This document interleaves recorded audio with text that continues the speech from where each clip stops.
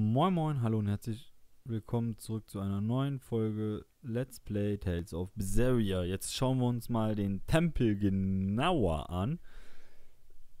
Oh, jedes Mal, ich leck mich am Arsch, ey. Es tut mir leid, Freunde. Freunde, Leute von heute.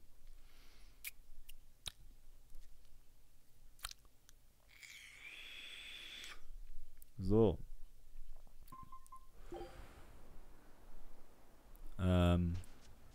Ne, jedenfalls. Oh, so. Jedenfalls. Schauen wir uns den Tempel jetzt mal genauer an. Ihr wisst es. Erstmal drumherum alles abklappern.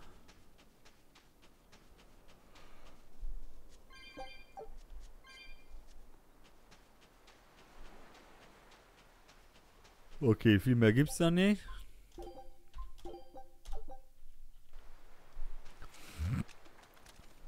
Okay, da sind viele Bewusstlosis. Weil Tote gibt's da nicht, nur Bewusstlose.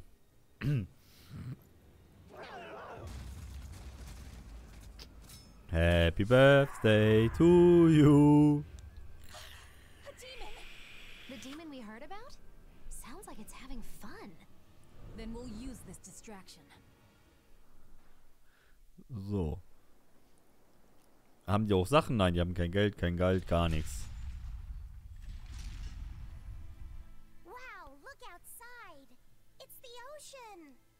This was a place of worship for Aminoch, the Water Empyrean. The ancients built this sanctuary underwater for the same reason that Eumasia's temples were built underground. But building this underwater couldn't have been easy. Aye. With the Earth temples, all they had to do was keep digging. Here, they had water to contend with. Stimmt. do it. You can't split the sea like you can a log. They started by stacking giant stone blocks in the shallows, creating an enclosed space. Then they drained the water and expanded the enclosure. Once they had done that enough times and secured enough dry space, they were able to dig into the sea. Hm. It's mind-boggling, isn't it? The humans Wahnsinn. believed that by going through such great hardships to build these temples, they could show the depth of their devotion. Additionally, current research suggests the site of this temple once sat on the seacoast. What? Are you saying I'm wrong? No, I'm only reporting what I've read in academic journals. How would coastal ruins sink into the ocean? When the Empyreans began their slumber, the land shifted, and this temple was swallowed by the sea. Scholars were able to prove that the sand and the heavy stones formed an airtight seal around the structure. Later, people carved an undersea tunnel to connect to the temple, bringing it to its current state. Now that you mention it, I think I read that book too. Revised Theories on Ancient Architecture, right? That's the one. Have you read it, Eisen? Digga, ich weiß nicht mal, was ich gestern gegessen habe. First edition. The problem with the stone enclosure Und der kennt noch Bücher von 100 Millionen Jahren. Enclosure, The innermost stones have to be carried out. Once that was pointed out as being too inefficient, alternate theories were developed.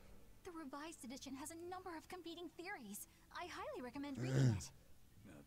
I will then. So, wait. Was that a complete rebuttal of Eisen's explanation? Th- that was not my intention. Ah, it's okay. Archaeology is a continuous process of asking new questions and making new discoveries. Prevailing theories change all the time. What's it matter anyway? Let's just get going. Ja, Mann, ey. There's Oh, no komm. here, right, Eisen? If you're worried about it, why not flip that coin of his? Heads, no Empyrean. Tails, Empyrean Central. But it always comes up tails. Like I said before, these temples are nothing more than places of worship built by human hands. The current religion started when humans, fearful of natural forces, began to worship four gods they called the Empyreans. If you're concerned about whether or not one is sleeping in these ruins, just remember that their very existence is only Aber auch Legenden haben ihren Ursprung. may, Enominat certainly exists. Aye. But I've never heard a single story of anyone actually seeing an Empyrean. Enominat must be a special case then. Must be. I suppose so. If there were four more like him, and they were all trying to stop us, we'd be sunk. I can't disagree.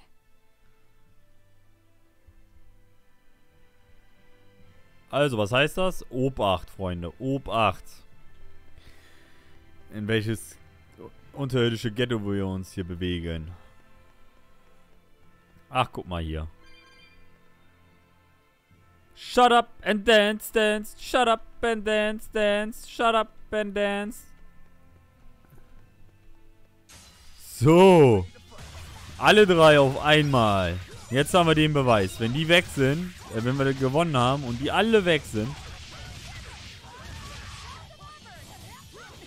dann wissen wir tatsächlich, dass das funktioniert. So. Ist jetzt einfach so. Gab es schon vorher, ist mir aber egal. Was haust du den denn? Das ist meiner.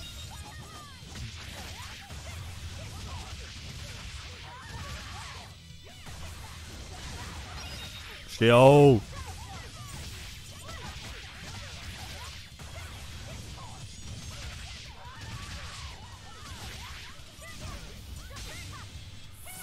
Ta, ta, ta, tra. Ich puste den einfach so weg.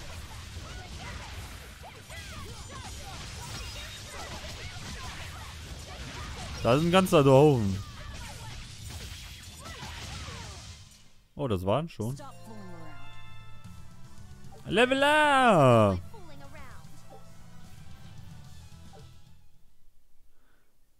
Naja, naja, so hundertprozentig nenne ich das jetzt auch nicht.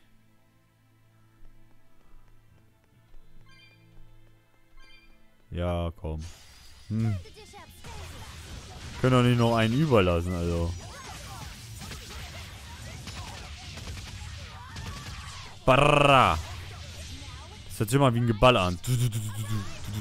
Mit einer AK draufgeknallt, ey.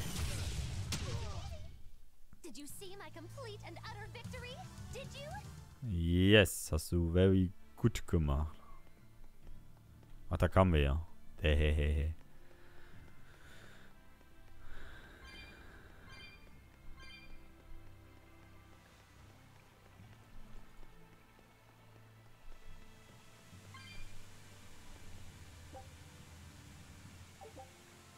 Auf dem Kelch befindet sich ein Symbol, welches das fließende Wasser beherrscht. Wird der Kelch mit Wasser gefüllt und das Symbol färbt sich blau, wird das Wasser deinen Weg wie eine Mauer versperren. Wird der Kelch mit Feuer getrocknet und das Symbol färbt sich weiß, beruhigen sich die tosenden Fluten und geben den Weg frei.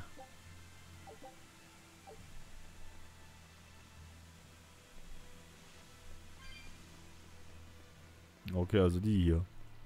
Hm. Also die hier.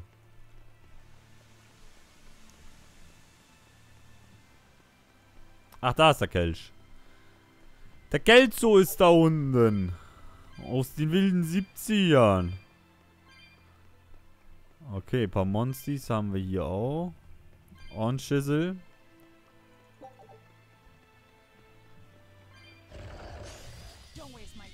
Ja, ich dachte, ich kann das einfach angreifen, aber nein. Geht ja gar nicht so einfach.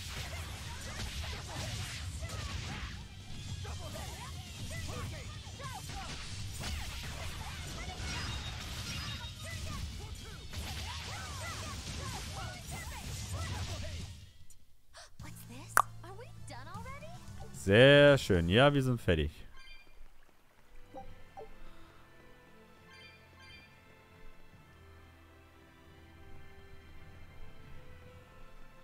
Ja, ist ja eh gesperrt. Ja, komm. Fürs Wissen. Bei der Macht von Grayskull. Oh, scheiße, jetzt kommen wir hier nicht mehr.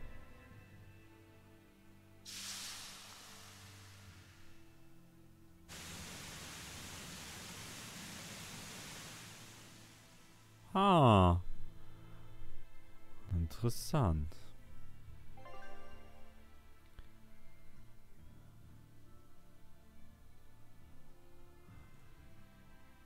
Das Klärchen, dann lassen wir das auch mal in Ruhe.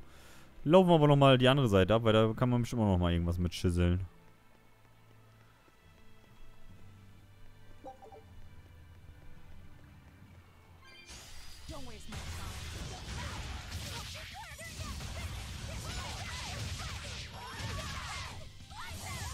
War das früher nicht zweimal, dreimal jetzt? Keine Ahnung.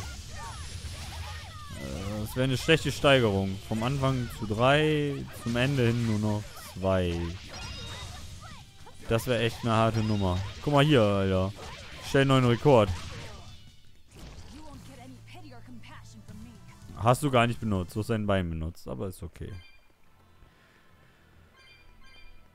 Lassen wir es doch mal einfach so... Ey.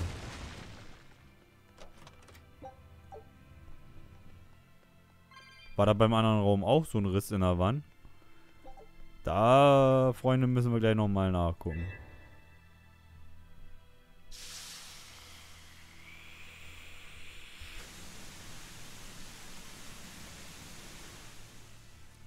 Ich denke mal, es werden die beiden oben sein, ne?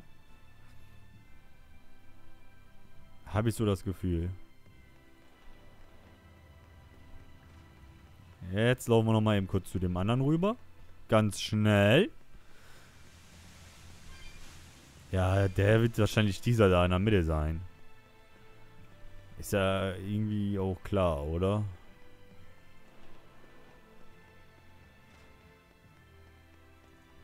Ne, hier ist tatsächlich gar nichts. Glück gehabt. Sonst hätte ich mich jetzt in den Arsch gebissen. Hätte ich es nicht wenigstens nachgeguckt. Aber dann können wir uns sicher sein. Nee, nee, nee, alles easy.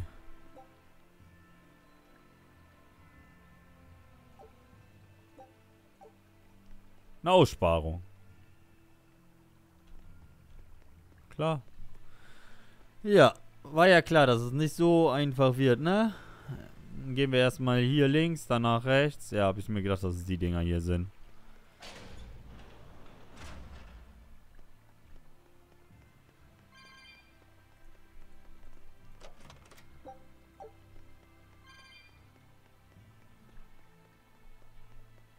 Mehr ist hier nicht. In Ordnung.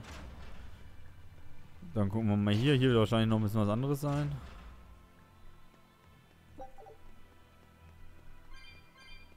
Ja, da ist er, das Ding. Oh, was habe ich denn jetzt gemacht?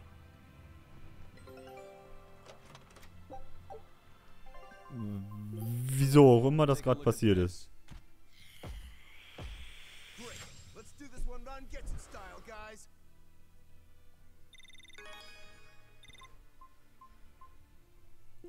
Bin gespannt, was ist das Maximum-Level hier eigentlich?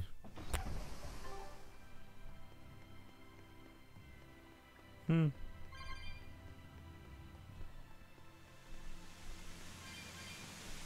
Ah, du siehst mich gar nicht, du Lutscher, aber das ist ein Gegner. Zup.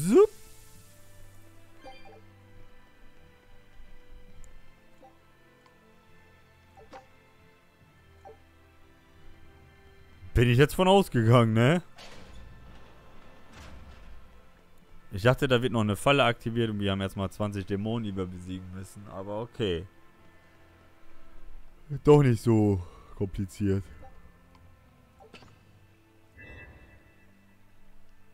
Ja.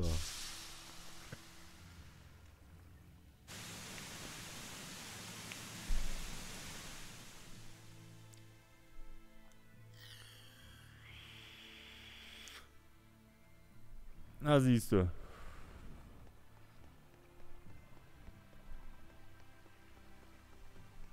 Dann schauen wir mal. Bevor wir jetzt diesen Mega-Fight machen, ne?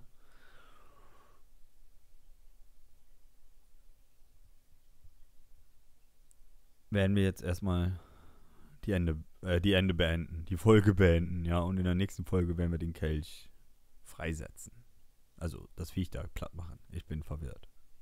Es tut mir leid. Bis zum nächsten Mal. Euer Street One Web. Ciao.